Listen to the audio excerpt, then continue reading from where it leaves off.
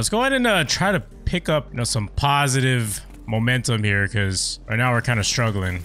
Maybe we're really gonna have to try hard here, which I don't enjoy doing. Maybe we can go for a flank. All right, there you go. Just got to get a little bit of momentum here. Yeah, I'm gonna save my UAV, my precious little UAV. I don't think I seen where these guys were spawning in from. All right, there we go. That's what I wanted to do, man. And here he is. He's gonna be spawning back in. All right, that takes care of that. Let's get this UAV going. All right, perfect. Let's rotate around just a little bit wider here. They're gonna be coming this way anyway. All right. Nope. Nice try, though. I might be in trouble here. It's all about the element of confusion.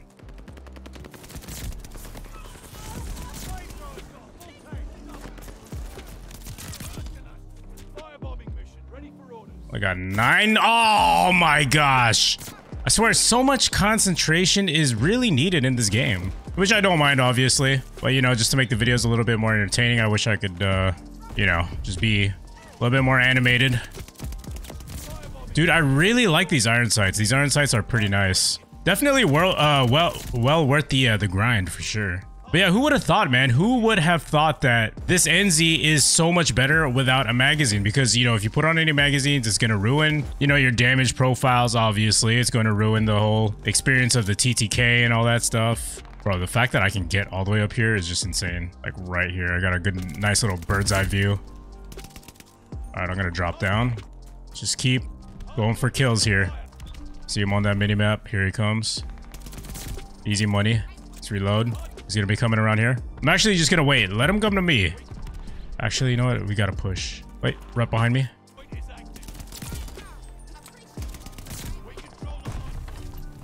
Let's go, baby. Come through these doors. All right, teammates going that way. I'll look this way.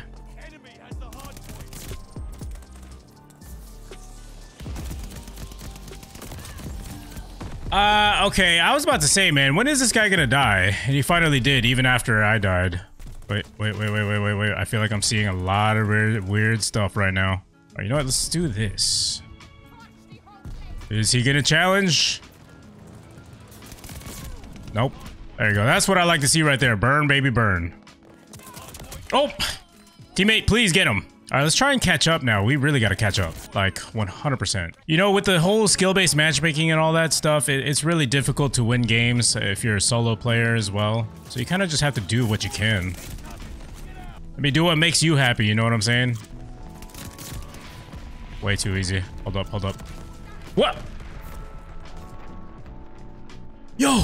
I'm really, oh my gosh, dude. I'm really getting rusty here, man. I really thought that the game was still going on. Okay, that was literally my bad. Wasn't paying attention to the score. Yeah, I totally could have used my Flamenaut. I'm pretty upset about that, man. We First, let's see who gets the MVP. Come on, big money, big money.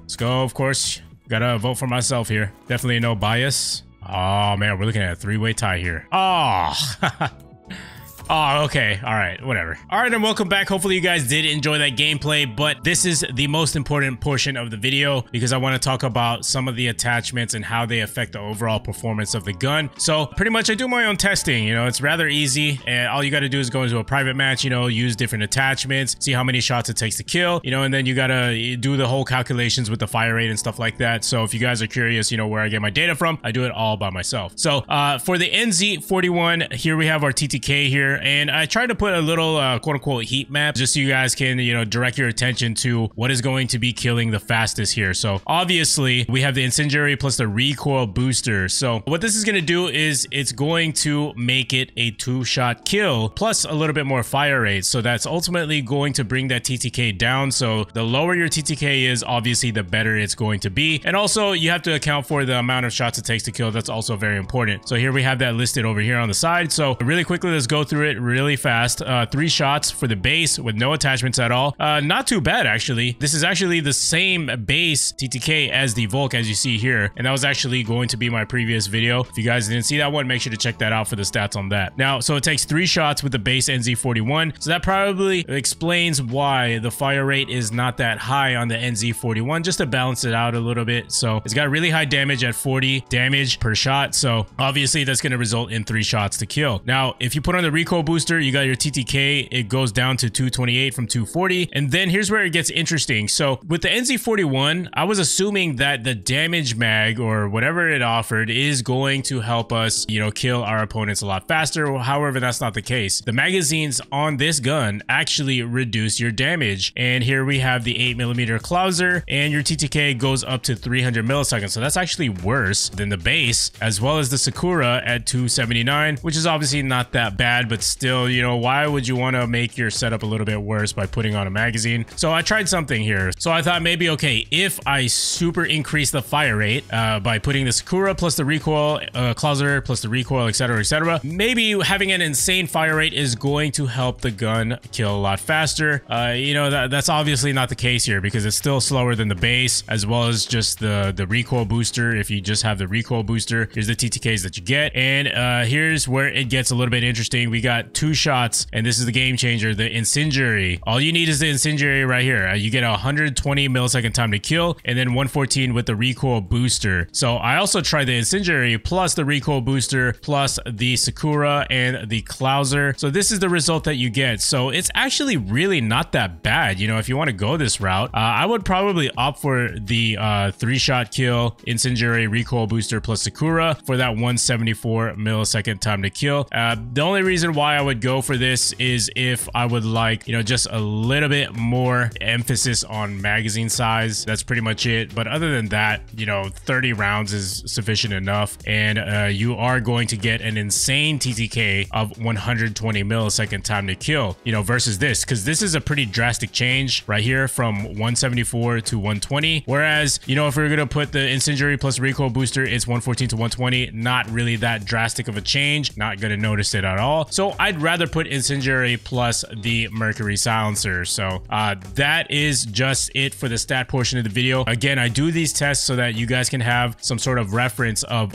what type of attachment will affect the gun's performance and what is going to be the most optimal for you guys to use. So uh, now let's go ahead and check out the full build. All right, and welcome back to the Gunsmith. So let's go ahead and talk about this class setup. So for the muzzle, we're rocking with the Mercury silencer. So I was actually really in debate with myself if I wanted to use the recoil booster, but as you guys saw in the stats, uh, the recoil booster, you know, the TTK, yes, is a little bit faster, but it is going to ruin your accuracy. And uh, like I said, the TTK is just a little bit faster, and I mean that literally. So it really doesn't make any sense to be putting this on if it doesn't really affect your TTK dramatically. Uh, that's why I'd rather have the Mercury silencer. It's just going to keep me off the minimap. So obviously that's important to staying alive and being stealthy. Now for the barrel, this one was a really easy choice here. So typically we see barrels that do add, you know, some fire rate or something like that. But in the case of the NZ41, uh, I just I was just looking for something that helped control the recoil. So the Orb Weaver 360 millimeter BC is going to be my choice here. And the burst, I tried this out. You know, that burst delay is really hideous, but you can get a one burst kill if you use this attachment. However, the problem is you're going to have to be super accurate because if you're not accurate, obviously knowing the, the fast TTK in this game, you're going to die rather quickly. So it's really not worth using if you're not as accurate as possible with this attachment. And that burst delay is absolutely hideous. So I would stay away from that at all costs. Now for the optic, this one is really nice. So I'm really usually not an optic guy. Normally I would just opt for the, uh, you know, the iron sights, the base iron sights, or, you know, I would go with something like the G16 2.5, which was really nice. I like that as well. Uh, this is also a nice little choice here if you want a little bit more recoil control. But for this setup alone, you don't really need too much recoil control. But I really like the Ravenwood mid iron number one. As you guys saw in the gameplay, it is a really nice iron sight and also does include uh, faster aim down sight time. Now for the stock, we're going to be using the Orb Weaver Elite. You do have another choice here. Uh, you could use the Orb Weaver Pack. Now this is going to help you control the recoil with accuracy, flinch resistance, etc. But the drawback is that it's going to make you a lot slower. Now with the Orb Weaver Elite, I like the fact that it does help out with that recoil control, mainly because the horizontal is what we're trying to control here. So I want to bring that down just a little bit as much as we can. And the Orb Weaver does just that with very minimal cons compared to the Orb Weaver Pack. Now next up, we have proficiency. You can use literally whatever you want to here. It's all personal preference. So, you know, you don't have to copy this if you don't need to. Kit, I'm going to be using fully loaded. Rear grip, we're going to be using the stippled grip and the ammo type is going to be incendiary. So this is essential to this class setup. If you want to go ahead and optimize it as much as possible, kill your enemies as fast as possible. But keep in mind, this is only going to be effective up to a certain range. Also, it does reduce your bullet velocity. So you have to keep that in mind. It's best used up close to medium to, you know, uh, maybe borderline long range gunfights, you know, but no cross map stuff. You're not going to get the two shot kill cross map, but up close you will, which is definitely worth it, especially with the kind of maps that they have here. Underbarrel, we're going to be using the M1941 hand stop. Now for the rest of my class setup, don't really bother too much with the secondary. Uh, you know, you can use whatever you want to here. Perks are going to be Ghost, Forward, Intel Scavenger, Gammon Bomb, and Stim Shot. You, really, you can use whatever you want to here. This is all personal preference, but you can copy mine if you want to. But anyways, guys, hopefully you guys did enjoy today's video. You found it helpful, informational, somewhat some shape or form or whatever they say. And uh, yeah, thank you for the support. I really appreciate it. Make sure to subscribe and like the video if you did find it helpful. And I'll see you guys in the next one. Yo, if you guys are always on your computer all day or you like to game for long sessions, definitely check out gameradvantage.com for these blue light blocking glasses. Quite literally, the best blue light glasses that you can ever find on the market. Make sure to check out gameradvantage.com and just learn more about it, man. There's so many benefits to keeping your eyes nice and healthy. You won't feel that strain at the end of the day, and you'll go to sleep like a baby at the end of the day, and that's the best part. You won't feel tired at all. Definitely check out gameradvantage.com. Use code TURBO at checkout.